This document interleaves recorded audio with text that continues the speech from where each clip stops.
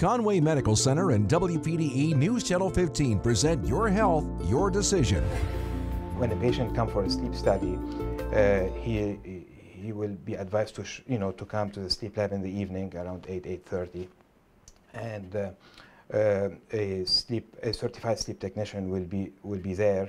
He'll uh, you know he'll walk him through the process and what what are the steps to do the sleep study.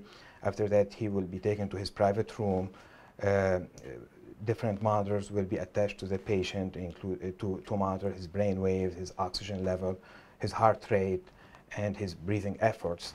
And uh, after that, he will be asked just to, to go and sleep, you know, to go and sleep like usual at home. And uh, all night, uh, all this, uh, all these parameters will be monitored, including his brain waves, the oxygen level, and his breathing efforts. And um, uh, in the morning, uh, uh, after he wakes up, he, he'll be ready to go home or to go to his usual work or his usual schedule. And a sleep technician as well as a sleep doctor or specialist will, will go over the study, score it, interpret it, and generate a report. Again, all our sleep technicians are certified. Our sleep physicians in, uh, in Conway Medical Center uh, uh, are board certified or board eligible with formal training in sleep medicine. After we have a final report of the sleep study, this report will be sent to the referring physician and uh, depends on the results. Patient may need to come back for a titration study when we use the CPAP and titrate the pressure to, to eliminate all the sleep apnea events and snoring.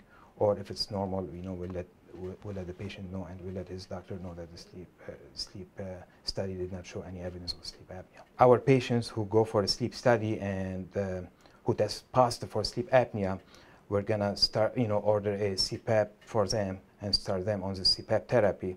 And uh, we have, uh, we, may, we uh, made arrangement to have CPAP clinic in our office so we can follow up closely on these patients. The patient, when he comes back for a CPAP clinic, he'll be evaluated by a respiratory technician. We'll check on his machine, on his mask to make sure there is no issues with the mask we, we can also check how, you know, how much compliant is this machine and if there is any problem with the compliance, uh, why is that, and try to find the problem so we can fix it. In our sleep lab, we have brand new equipment, you know, state-of-art equipment to diagnose sleep study. We have a qualified and certified technician.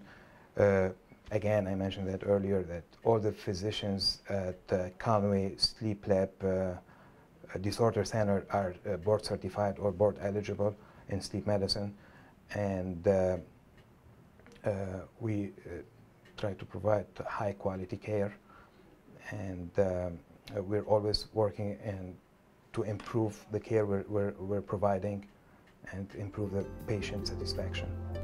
For more information, visit us online at conwaymedicalcenter.com.